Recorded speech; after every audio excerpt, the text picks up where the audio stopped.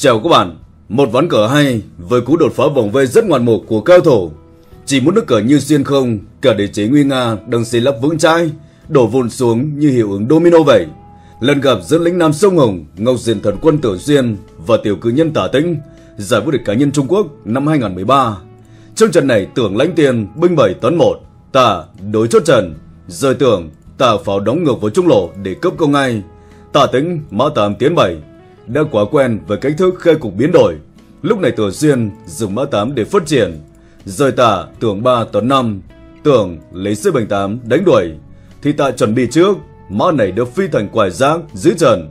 Tử Xuyên lúc này chọn cách thức mã nhảy vào trong, xong chính mã phát triển. Tả tính mã 7 thúc lên cửa hà, tưởng C1 tấn 1 hoành ngay. Thấy về tả dùng mã 6 tiến 7 đạp được chốt, và tưởng xuyên lại chiếm được một con đường sườn. Tả điều pháo 8 gã vào trục 7. Chuẩn bị sẽ là gì? Mã 7 tiến 5, chém chết pháo, giờ tiêu diệt ít nhất lợi một quân. Cho nên tưởng xuyên đáp trả, bằng thủ đoạn lấy xe này tiến lên kẹp cổ đánh đuổi vào mã quải giác đối phương. Cho nên thành thử đòn dùng mã này phóng đi, không được tích sửa gì, chỉ là một kế hoạch thông đổi và nước tiên của Tử Xuyên với đôi xe đã xuất động vẫn chiếm được một cách tròn vẹn. Cho nên tới đây, tả tính C4 tiến 5 phong thổ. Tưởng cũng vậy, đưa phó năm dở hình ngay. Thứ nhất là lánh mặt, thứ hai chuẩn bị là mã 7 tiến 6 đánh đuổi vào mã quải giác của đối phương. Lúc này tà tĩnh lấy C78 để giam cầm. Giam cầm ở đây mang ý nghĩa trực tiếp khiến cho đòn cờ bổ tưởng tưởng xuyên không thể nào làm. Quyết định của tưởng đưa C8 tấn kỳ hạ ngay. Rời tả lấy C1 bẩn 2 chuẩn bị trong phương án hoặc là có thể tạt pháo mà kích đổi. Tới đây tưởng xuyên dùng xe quay về hai trường. Rời tả bênh ba tiến một ngay. Tại vì sao lại vậy?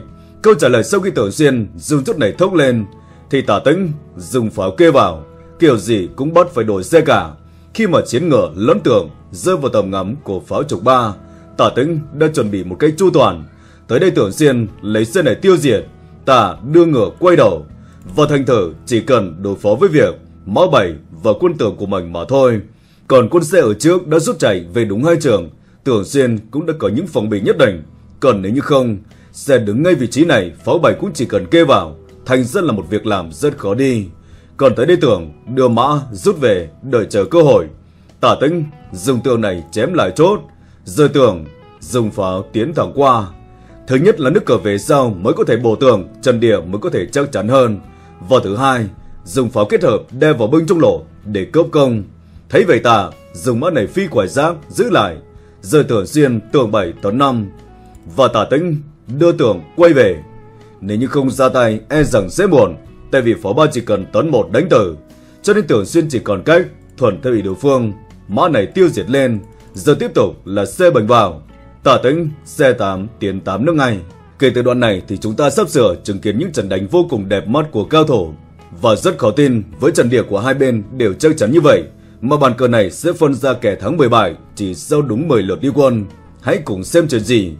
Quyết định của Tường Xuyên tất nhiên là dùng mã 9 để tấn 7 rút chảy, tiện đường để phát triển. Ta đưa ngựa nhảy ra ngay. Thì ra nước cờ dùng xe 8 dâng lên không phải mỗi việc là đánh đuổi vào mã bên kia mà tạo ra một lỗ hổng để cho con mã này có thể xuyên phá vào kinh thành của Tưởng Xuyên. Tưởng không thể nào phòng thủ được việc này. Nếu như tới đây cứ lấy xe bình sườn để sau khi đối phương đưa ngựa này thúc lên, lại rời xe về cấm cản. Chuyện có đơn giản. Lúc này âm mưu của tạ là gì? Không cần phải vội vàng dùng mã chín phi đồng bảy trước, mà chỉ cần dấu chốt bảy qua.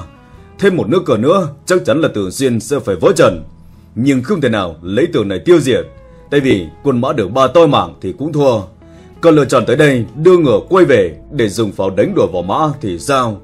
Dùng mã 9 tấn 7 nhảy chiếu ngay, bắt buộc xe đối phương quay về bọc lót. Giờ thứ khắc lẩy chốt sang một nước cờ độc đáo để dùng pháo này đe luôn cả tường là rất cổ. Chỉ còn đúng một cách để hóa giải. Tường này quăng lên rồi cũng sẽ sớm tác tử. Khi ngựa đường 7 quay về và chắc chắn hoặc là tưởng mất mạng rất cổ hoặc là quân xe này ra đi. Cách đi nào thì Tiểu Duyên cũng chỉ còn cách ôm đầu mà nhận thua. Cho nên đó là lý do sau nước cờ thực chiến, đối phương đưa ngựa nhảy ra đường biên. Tưởng Xuyên biết rằng chân địa của mình đang lâm nguy, cho nên cũng chỉ còn lựa chọn lấy C5 bằng 3 để ngăn cản. Nhưng cũng bởi vậy mà rất bị động. Còn về phần của mình, tả tĩnh, lấy C8, hoành sửa ngay. Chuẩn bị là gì? Mã 9 tấn 7 set cổ hoặc là lấy xe này để thông đổi. Nếu như tới đây, tưởng mà quăng lên thì sao, càng thê thảm. Xe diệt pháo, và xem như thương vụ trao đổi vừa rồi, tả tĩnh sẽ thu về cả vốn lẫn lời. Thứ nhất là bỏ mã, nhưng đoạt lại pháo. Và thứ hai, chỉ một trong hai tưởng xuyên có thể rút chảy, hoặc là mã, hoặc là chiến tưởng. Mất quân nào thì cũng te tua, ra thử mở bảy tiền tám rút chảy. Xe này chém tà tưởng. Nếu như ngựa quay về thì pháo này cắm lên sát cổ, còn nếu như bổ xít lên thì chiến mã cũng ra đi, cũng chẳng khác nào là một thế thảm cả. Cho nên đó chính là lý do không thể nào gọi đây là phương án thông đổi, mà là một kỹ thuật rất cao của tiểu cử nhân. Bắt buộc rằng tiểu xuyên, C4 tiến 5, để cho tả dùng mã 9 tấn 7 nhảy chiếu được. Giữa một rừng quân chủ lực của tiểu xuyên, xe phó mã, tướng sĩ tưởng, nhưng một chiến ngựa này tả tĩnh đã thành công để áp sát cầu cung. Tưởng xuyên chỉ còn cách đưa tướng quân để trốn chạy, rời tả, bình pháo kê vào. Kể cả thủ đoàn lấy xe này trồng vào hòng lui về ngăn cản cũng không làm được. Quyết định tới đây, tử diên đưa mẫu 7 tấn đường 6 ngay. Giờ tả bất ngờ dùng pháo chọc đáy trước.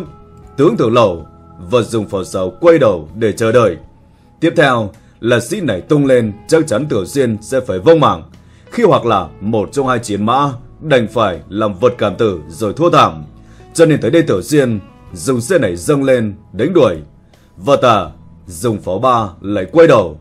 Tiểu diên đưa ngựa thúc tới ngay nhòm tưởng thì bất ngờ tả lại tuôn ra một nước cờ hiểm độc khôn lường dùng pháo sáu nhét ngay vào họng tới đây cái hiểm ác là pháo này đã còn đuổi bắt vào xe cho nên Tiểu Xuyên chỉ còn cách duy nhất là dùng xe lấy lùi thổi, rút về hai trường.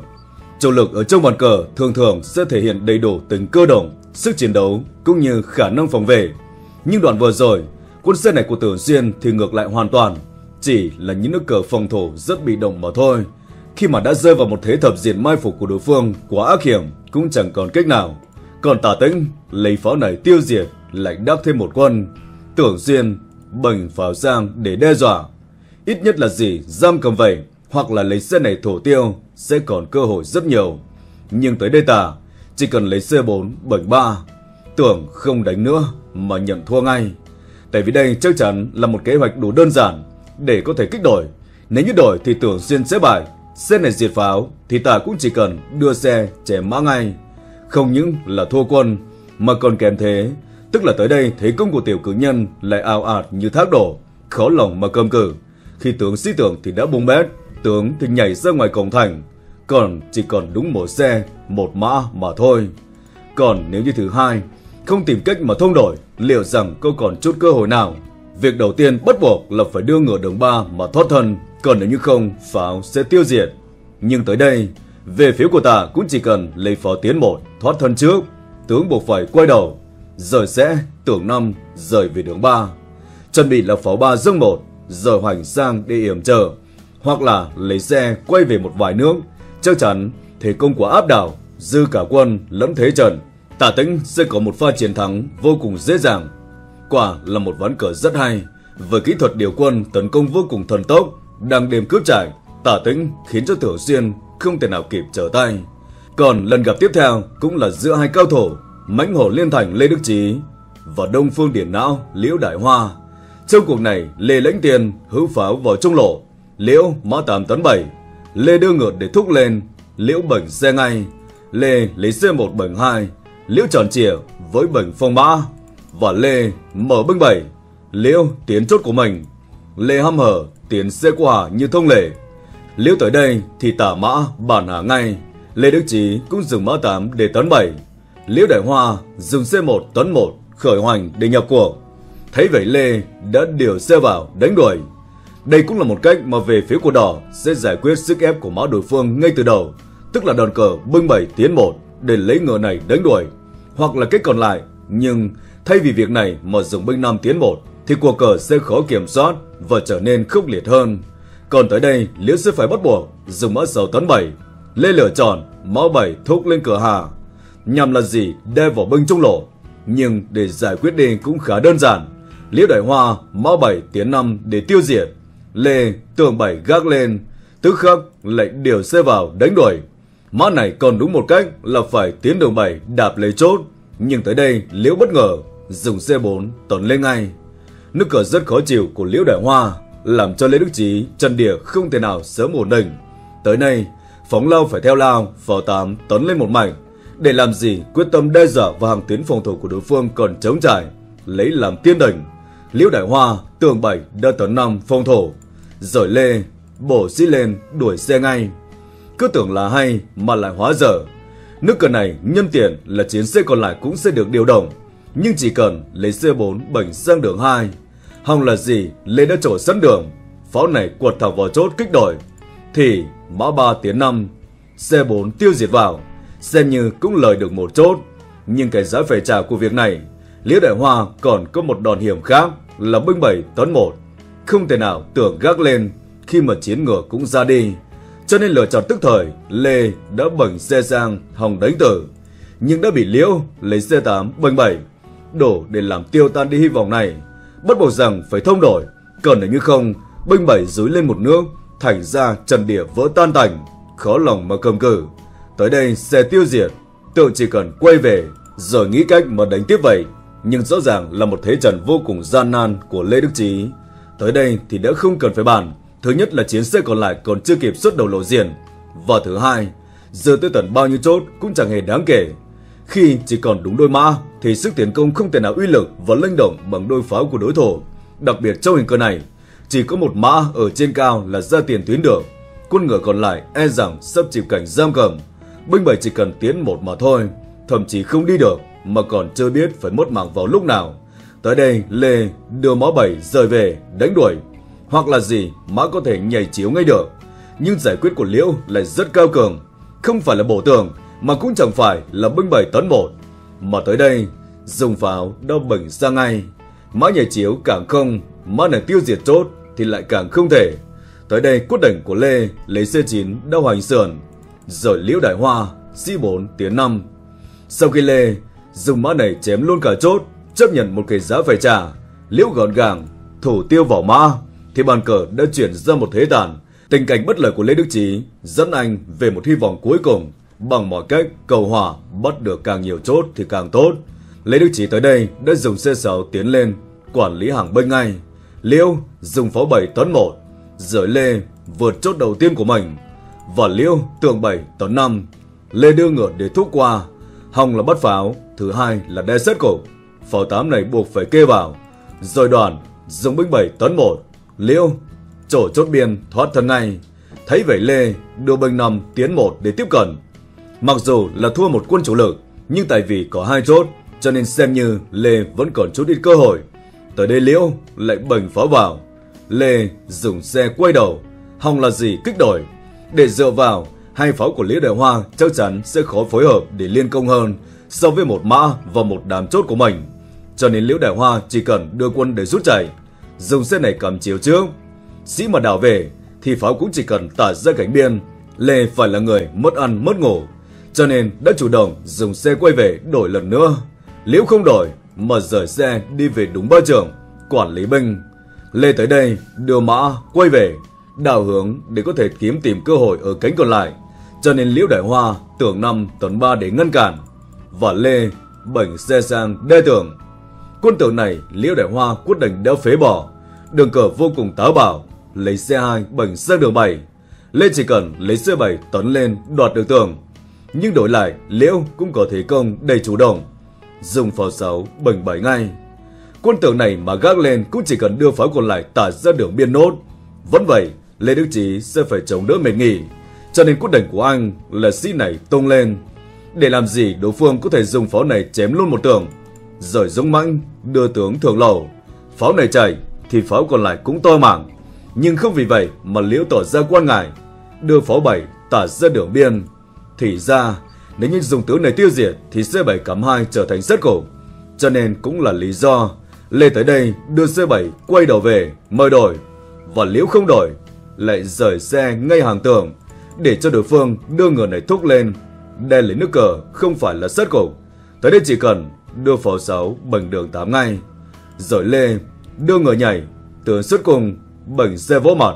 Sĩ này bông lên cấm cản. Rồi tức khắc Tưởng năm đa tuần ba. Sau những ngờ vừa rồi kết hợp với mặt xe của mình, Lê kiểu gì cũng phải giải sát cả. Và nước cờ thí tưởng này đã đủ cao cường, làm cho kế hoạch đội hình sắp xe pháo của Liễu Đại Hoa không thể nào thực hiện. Tới đây, việc dùng xe mà chém tưởng thì quân sĩ này toi mạng, và Lê sẽ là người về đích trước. Cho nên quyết định cuối cùng, Liễu dùng pháo 8 rời về một mạch, phòng thủ ngay. Thấy về Lê dùng binh 7 tấn 1, và Liễu dùng xe này tiêu diệt về tường không ngần ngại. Chấp nhận là gì đối phương dùng xe chém tàn luôn cả sĩ. Giờ đoàn lấy pháo tám kê sang yểm trở. Tới đây, cuộc cờ càng lúc càng đối công mãnh liệt. Lê Đức Chí binh Nam tiến một thoát thân vội. Rồi Liêu dùng xe này cầm chiếu ngay.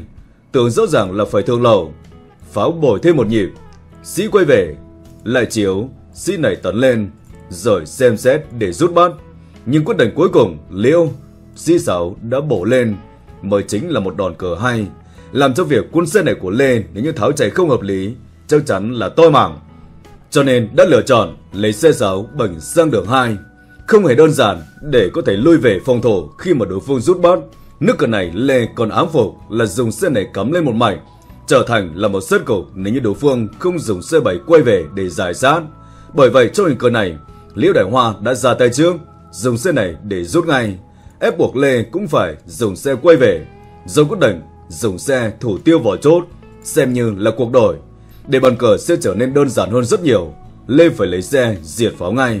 Quân ngựa còn lại chắc chắn không thể nào qua khỏi. Và thành ra, Lê Đức Chí lúc này có đánh giờ bao nhiêu, nhưng cũng chỉ còn một xe, một chốt, khó lòng mà làm nên chuyện. Tới đây, một sĩ trung lộ của Liễu Đại Hoa quả là sức mạnh vô cùng. Quyết đánh trong hình cơ này, sĩ đảo về ngay. Rồi Lê tới đây, đưa tướng quân quay đầu để giải nguy. Liễu Đại Hoa mới dùng xe tiêu diệt vào mã. Lê lấy C1 bệnh 2 lộ diện. Liễu dùng xe cắm chiếu ngay. Tướng quân quay đầu về.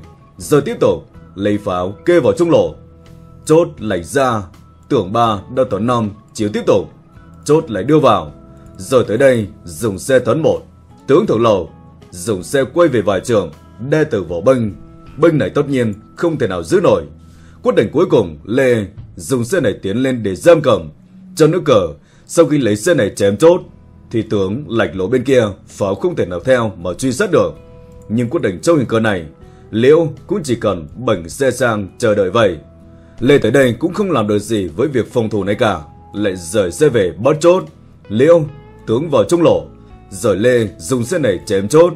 Liễu cũng chẳng cần đếm xỉa, pháo lạch ra ngay. Lê dùng xe lẩy sang lỗ bên kia, hoặc là gì quấy rối tiếp tục vào cánh phải của đối phương đã hở sườn. Tới đây Liễu Đại Hoa lại bẩn xe vào tiếp tục chiếu. Nếu như là lựa chọn bẩn xe này theo thì liệu rằng có làm khó được Liễu Đại Hoa? E rằng là không làm được gì mà chắc chắn chỉ đúng một nước cờ tiếp tục Lê Đức Chí sẽ phải hối hận về quyết định của mình. Liêu tới đây chỉ cần dùng tướng 5 tấn 1 để giữ lại. Kể cả xe, tướng, sĩ đều không thể nào di chuyển. Chỉ còn cách là binh biên tiến một và chỉ cần tưởng năm rời về ngay. Nếu như tới đây sĩ 4 bổ lên thì xe cũng chỉ cần tiêu diệt, cho nên cứ để bất động, binh này tấn một thì quân xe này thậm chí không cần phải tiến lên để đe lấy sĩ, mà chỉ cần dùng xe này chém luôn cả binh. Vừa có thể đe lấy sức cục, sĩ 4 phải bổ, rồi mới chiếu sau. Tướng quay về, chém chết sĩ ở trung lộ, cho dù có vùng vẫy bằng cách nào, Lê cũng phải thảm bại. Tới đây nhìn thấy chuyện đối phương, chuẩn bị lấy xe nằm rời về một nước, bắt luôn cả sĩ, thịt luôn cả xe, nhưng không tài nào có thể can thiệp. Còn dùng xe này mà diệt pháo ư, tướng quân chỉ cần xuất cung cũng là thảm bại. Cho nên đó là lý do trong nước cờ thực chiến, nước cờ rút xe đi để chiếu của Liễu Đại Hoa trông thì đơn giản, nhưng ẩn chứa một kỹ thuật rất cao cường. Trong hình cờ này, Lê chỉ còn cách đưa sĩ đảo về ngay. Liễu Đại Hoa cũng sĩ sáu tiến năm phong thổ, hạn chế việc mất luôn cả sĩ còn lại, việc chiến thắng sẽ khó khăn hơn. Tới đây Lê dùng xe quay đầu, ngăn cả đối phương có thể dường sĩ lên để chờ công. Thấy vậy Liễu Đại Hoa dùng sĩ đảo về, nước cờ bắt buộc, giờ tiếp tục Lê lại rời xe về. Và Liễu Đại Hoa tưởng năm quay về ngay. Nước cờ trông thì rất đơn giản, nhưng đây lại là một ám tàn sát cơ kịch độc của Đông Phương Điển Não. Giả thử Lê Đức Chí cứ để bất động vậy, bình biên tiến một, thì Liễu Đại Hoa cũng chỉ cần lấy xe này vỗ chiều trước. Sĩ này phải bổ, rồi bẩn xe để sát ngay. Không thể nào lấy xe này sang bọc lót được. Bắt buộc rằng sĩ phải rời về đúng như vị trí ban đầu. Giờ tiếp tục là sĩ 4 tiến 5 để chuẩn bị sĩ 5 tiến 6 rồi cắm xe lên trở thành sắt cổ. Và chỉ còn đúng một cách giải. Lên tới đây xe 9 chiếm vào trung lộ. Nhưng lại tưởng 3 xe tận 5. Nếu như dùng xe này chém tường thì sẽ thua. Bởi vì C7 bình 6 để vỗ chiều trước. Rồi sĩ bổ lên và rút bắt. Xe tử nạn, Lê cũng phải buông cờ. Cho nên đó là lý do cho nước cờ lên tường. Còn nếu như không dùng xe này thì tường, thì sĩ tuấn lên chiếu làm sao mà đỡ nổi. Bởi vậy cũng chỉ còn lựa chọn, sĩ này tung lên, thì xe của Liễu cũng chỉ cần cầm chiếu ngay. Tướng thượng lầu, rồi lại chiếu tiếp. Tướng đưa vào và phò 6 7 năm sông triển. Xong ở đây là quân xe cũng ra đi, không thể nào cầm cự nổi. Cho nên đó cũng là lý do trong thực chiến thì nước cờ quay tưởng về của Liễu Đại Hoa trông thì rất bình thường, nhưng chẳng hề đơn giản. Tới đây trong thực chiến, cuối cùng thì Lê Đức Trí đã dùng xe tấn lên, hòng là ngăn cản đối phương có thể mở sĩ và đe dọa. Nhưng quyết định cuối cùng, Liễu Đại Hoa chỉ cần dùng pháo sáu quay đầu, Lê cũng không thể nào phòng thủ nổi, đành phải nhận thua. Tại vì chắc chắn một điều là quân xe này của họ Lê không thể nào rời khỏi góc được. Nếu như rời khỏi đường đáy thì sao? Lui về một vài trường thì sĩ này cũng chỉ cần bổ lên, sắt cổ kinh điển như vừa rồi sẽ được tái hiện. Còn nếu như dùng xe này đoạt tưởng, thì quân xe của Liễu cũng chỉ cần chiều tướng rút bắt rồi đánh tử. Còn cứ để bất động, thì chỉ còn tới đây một bên biên là đi được. Thì xe này chỉ cần vỗ chiều trước, sĩ này bổ lên, rồi lại tiếp tục đưa xe 6 bằng 7 như biến cửa trước vậy. Sĩ quay về, và sĩ 4 tấn lên, vẫn là không thể nào có thể đỡ nổi. Những trận cờ thể hiện công lực rất cao của những danh thủ hàng đầu. Xin chào và hẹn gặp lại các bạn